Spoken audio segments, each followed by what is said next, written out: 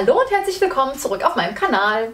Heute habe ich eine kleine Do-it-yourself-Deko-Idee, ähm, für die ihr perfekt wunderschöne Stoffe, schöne Stoffreste ähm, oder eben auch ähm, Stoffe, ja, die irgendwie eine besondere Bedeutung für euch haben, ähm, benutzen könnt.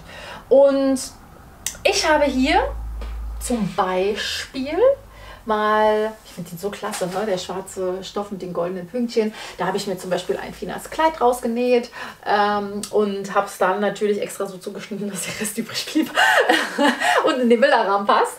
Und ganz, ganz cool eigentlich passend dazu habe ich mir ähm, für das nächste Schnittmuster, was kommt jetzt im Probenähen, ähm, auch wieder ein, äh, ist quasi richtig schön passend, ne, wenn man das nebenan an der Wand hat.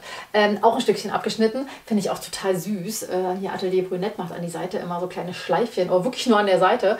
Ähm, und ja, das sind halt auch so Erinnerungen für mich. Ne? Ähm, manche machen die Jahresdecken, das kenne ich auch, ne? Das ist wie so Patchwork, also in der einfachen Variante, ähm, wo man dann die Stoffe vernäht, die ja, ne, so einen gewissen Erinnerungs- und Status haben oder ähm, die halt auch einfach schön sind. Ne? Ähm, genau, und dafür brauchst du gar nicht viel. Du brauchst Bilderrahmen und ich habe hier äh, beim Möbelschweden angehalten und mir da passende geholt. Die sehen dann auch an der Wand richtig schön aus. Ich mache die hier auch fest, wenn mein Wasserschaden hier vorbei ist. Jetzt stehen sie erstmal hier auf der, auf der, äh, auf dem Bilderregal.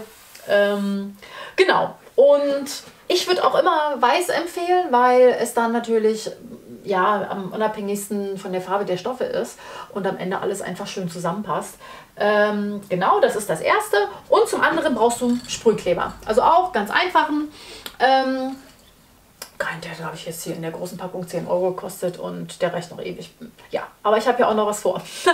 also das kann man natürlich auch wunderbar ergänzen. Und ich finde, in, ja, in so einer Nähecke finde ich das total klasse. Ja, dann erstmal viel Spaß beim Gucken und viel Spaß beim Nachmachen.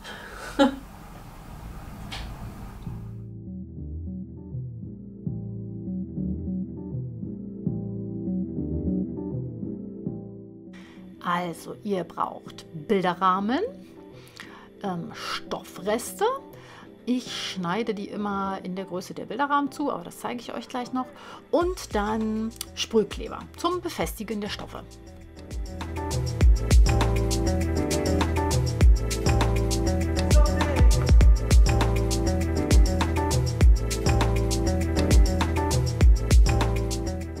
Als erstes äh, legt ihr euch alles zurecht, also eure Stoffreste in der richtigen Größe. Guckt auch, dass die kleinen Details, die ihr vielleicht haben wollt, gut zu sehen sind.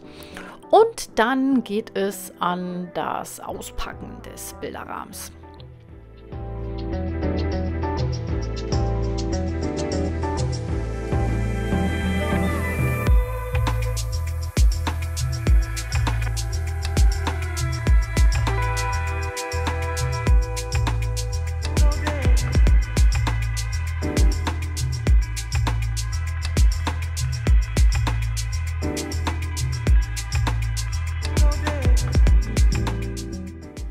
Der Bilderrahmen wird dann erstmal in seine Einzelteile zerlegt. Das ist bei denen hier wirklich relativ einfach und ähm, auch wenn man das zum ersten Mal ausprobiert, glaube ich, auch so eine wirklich gute Alternative, weil man eben nicht viel riskiert. Ne?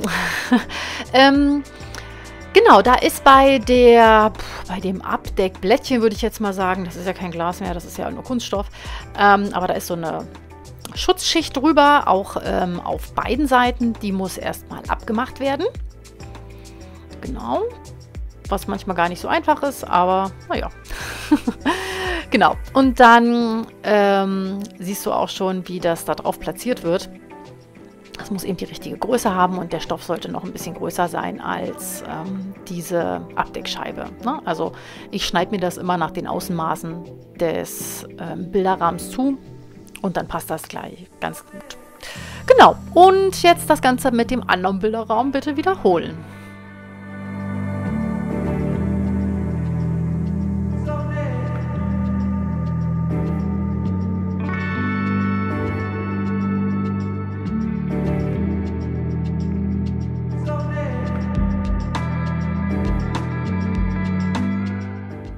So, nun muss die Fläche geschützt werden. Also einmal bitte den Tisch präparieren. Ich habe da Zeitung genommen oder du machst den gleich draußen. Ähm, denn der Sprühkleber, der sprüht eben ein bisschen. Ne? Also der hat einen etwas größeren Dunstkreis. Also da auch wirklich großzügig auslehnen. Und dann ähm, die Scheibe Nummer 1 nehmen. Ähm, und da kommt jetzt eben ähm, der Stoff drauf. Das heißt, einmal alles äh, vor dich hinlegen, ordentlich schütteln, so wie es auf der Dose drauf steht, und dann einmal dünn, einmal drüber ähm, sprühen und dann eben auch den Stoff richtig platzieren. Wichtig ist, dass die rechte Seite oben ist und die linke Seite auf, dem, auf der Scheibe drauf ist, ne? auf dem Kunststoff. Genau, alles festdrücken und den Nachteil dieser Variante hier, den siehst du jetzt, ähm, da klebt das Ganze dann ein bisschen auch am Papier fest. also schnell abziehen. Oder ähm, bei dem großen Bilderrahmen habe ich es ähm, anders gemacht. Und zwar habe ich, genau, ähm, die Scheibe besprüht und sie dann auf den äh, Stoff aufgelegt. Und jetzt ist natürlich wichtig, dass die linke Seite des Stoffes dich anguckt und ähm, du nachher auch die rechte Seite außen hast. Ne? Aber das hier hat sich als die bessere Variante rausgestellt. Logischerweise eigentlich.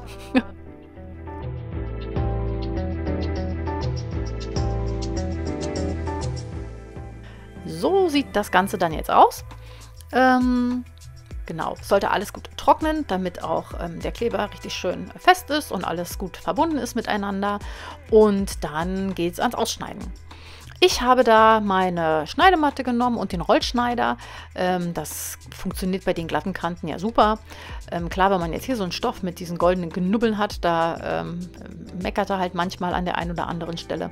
Aber so lässt sich das eigentlich richtig super sauber und gut ausschneiden.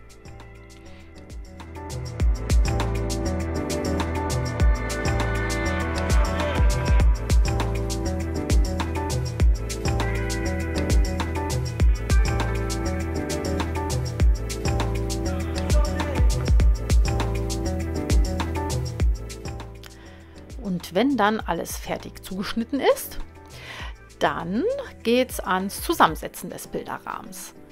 So, genau, das, so sieht das Ganze aus. Ich habe es jetzt auch wirklich mit Absicht in dem Fall mal nicht gebügelt, weil es dann einfach so einen schönen, schöneren Look kriegt, finde ich. So ein bisschen mehr stoffig. Ne? Und jetzt wird das Ganze da eben einfach in den Bilderrahmen eingesetzt. Und ich bin immer jemand, ich äh, nutze auch wirklich immer alles, was so dabei ist.